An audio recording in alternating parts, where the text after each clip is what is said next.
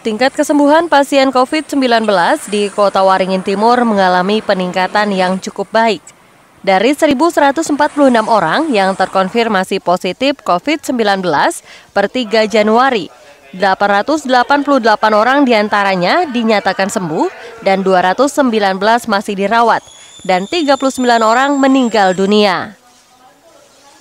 Juru bicara Satgas COVID-19 Kota Waringin Timur, Multaza mengatakan dari 219 pasien COVID-19 yang masih dirawat, 43 pasien bergejala ringan hingga berat yang harus menjalani perawatan di RSUD Dr. Murjani Sampit.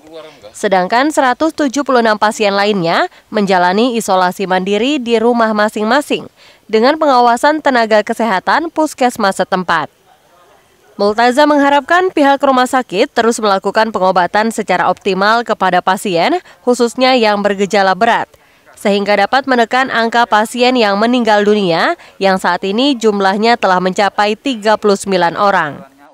Dalam seminggu terakhir kita monitoring eh, ada perbaikan dan percepatan penyembuhan dan kita mampu untuk mengendalikan penambahan pasien. Tentunya Ya, ini tadi baru dapat informasi dari uh, Palang Merah Indonesia. Uh, kita mulai melakukan plasma convalescent per hari ini.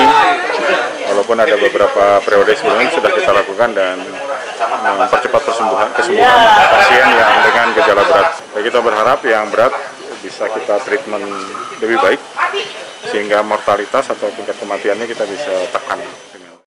Multaza menambahkan sejauh ini tingkat kedisiplinan pasien COVID-19 yang menjalani isolasi mandiri sangat baik. Obat-obatan serta vitamin yang diberikan kepada pasien cukup membantu mempercepat kesembuhan mereka. Karena sebagian besar pasien COVID-19 melakukan isolasi mandiri, maka tidak ada lagi pasien yang dirawat di klinik isolasi COVID-19 di Kompleks Islamic Center Sampit. Namun apakah klinik itu akan ditutup total atau tetap disiagakan masih akan dibahas oleh Satgas COVID-19 bersama pemerintah daerah setempat.